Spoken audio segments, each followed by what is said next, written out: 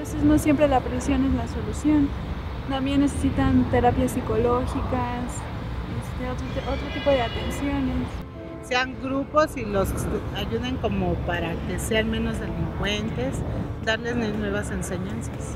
puede, creo que puede haber otras salidas antes de llegar a una, una prisión que tal vez sería para otro tipo de personas. Creo que la educación es la base del término de, de la delincuencia, en muchos sentidos, en escuela, en hogar, en prevención. La pena privativa de libertad debe ser lo último,